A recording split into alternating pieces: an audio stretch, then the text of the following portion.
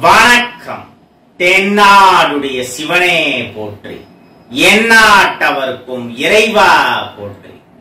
எனக்கு தெரிஞ்ச ஒருத்தங்க அவங்க ரொம்ப வருத்தத்தோட எங்க அம்மா கிட்ட ஒரு விஷயத்த டெலிவர் பண்ணியிருந்தாங்க. என்னன்னா தினமும் நைட் ஆனா ஏதோ விதவிதமா சத்தம் எங்க வீட்டுல கேக்குறது கொலுசு சத்தம் எல்லாம் கேக்குறது பேயே பிசாசா இருக்குமோ இல்ல ஆவியா இருக்குமோங்கிறது என்னோட பயம். இதுதான் அவங்க என் அம்மா கிட்ட ரொம்ப கவலையோட டெலிவர் பண்ண மெசேஜ் அப்ப பக்கத்துல இருந்து நான் கேட்டுருந்தேன். நமக்கு தான் வாய் சும்மா இருக்காதே. நான் அவங்க கிட்ட கேட்டேன். நீங்க அபிராமி அந்தாதிலாம் பார்க்காமயே அவ்வளவு நல்லா சொல்லுவேடே. லலிதா திருசதி லலிதா சஹஸ்நாமம் எல்லாம் உங்களுக்கு தெரியும். தினமும் அம்பாள் பூஜை எல்லாம் நீங்க ஆத்துல பண்ற இல்லையோ அப்படின்னேன். ஆமாண்டா அம்பி பண்றேன் அப்படின்னு இப்ப தினமும் நைட்டு கொலுசு சத்தம் கேக்குறதுனா அந்த அம்பாள் வீட்டுக்கு வராங்கன்னு அப்ப கூட உங்களுக்கு கடவுள் நம்பிக்கை இல்லை.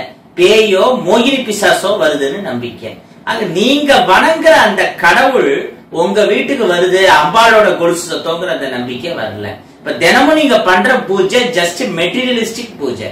கடவுள்னு உங்களுக்கு தோணல. ஆனா பேய் பிசாச நம்புறீங்க.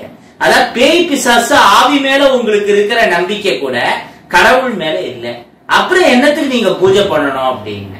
சுருக்குன்னு அவங்களுக்கு அடிச்ச மாதிரி ஆச்சு அது. ரொம்ப வருஷம் அவங்களை எனக்கு தெரியும். அவங்களும் என்கிட்ட உரிமையோட பேசுவாங்க. நானும் உரிமையோட பேசுவேன். அவங்க மனசுல இருந்த அந்த தப்பான பிம்பம் எண்ணத்தை ஒரே நிமிஷத்துல சுக்குநூறு அடிச்சு நொறுக்கிட்டேன். அதுக்கப்புறம் நைட் டயத்துல அந்த மாதிரி ஏதாவது சத்தம் கேட்டதுன்னா அம்பாளே நம்ம ஆத்துக்கு வரா. கடவுளோட ஆசீர்வாதம். அப்படிங்கிற அந்த தைரியத்தோட நிம்மதியா அவங்க தூங்க ஆரம்பிச்சாங்க. அவங்கன்னு இல்ல பல பேர் இந்த மாதிரி சொல்லியிருப்பாங்க. நைட் டயத்துல திடீர்னு ஏதோ சத்தம் கேட்கறது கொலுசு சத்தம் எல்லாம் கேட்கறதுன்னு என் அம்மா கூட சம்டைம்ஸ் அப்படி சொல்லியிருக்காங்க. ஏன் இந்த வீடியோவை பார்த்துட்டு இருக்கிறவங்களோட வீட்டுல கூட அப்பப்ப நைட் டயத்துல ஏதாவது திடீர்னு வித்தியாசமான விசித்திரமான சத்தம் கொலுசு சத்தம் மாதிரியான சத்தம் எல்லாம் கேட்கும் அதுக்கு மூணு நாலு விதமான காரணங்கள் சொல்லலாம். ஒண்ணு ஏதாவது கடவுள் சக்தியாவோ இல்லைன்னா பேய் பிசாசாவோ மோகினி பிசாசாவோ எல்லாம் இருக்கணும்னு அவசியம் இல்லை. சில பூச்சிகள் கத்துற சத்தம் அப்படி கொலுசு சத்தம் மாதிரி லேசா கேட்கும் நைட் டைத்துல அது ஒண்ணு.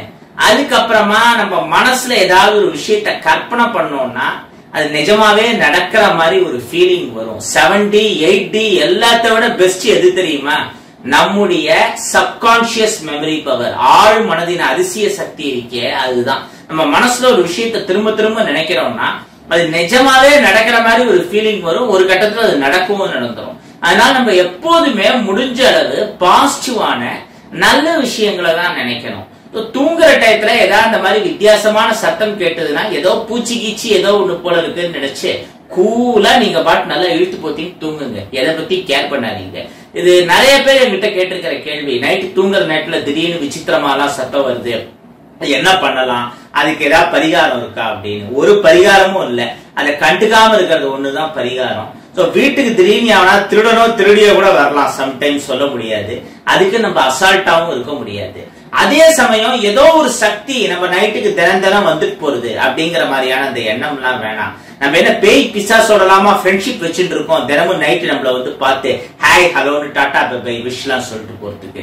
அதனால இந்த தேவையில்லாத மூட நம்பிக்கைகளை நம்ப வேணாம். நமக்கு மேற்பட்ட சக்தி இருக்குங்கிறதும் உண்மை. நல்ல சக்தி இருக்குன்னா சில கெட்ட சக்திகள் இருக்குங்கிறதும் உண்மை. அதெல்லாம் ஒத்துக்கிறேன். ஆனா நம்ம வீட்டுக்கு தினமும் நைட்டு வந்துட்டு போற அளவுலாம் நம்ம ஒண்ணு பேய் பிசாசுகளோட ஹாய் ஹலோ எப்படி இருக்க? சாப்பிட்டியா? தூங்கினியா? இன்னைக்கு என்ன மேக்கப் கொஞ்சம் கம்மியா இருக்கு? மூஞ்சிக்கு பவுடர் போடலையா?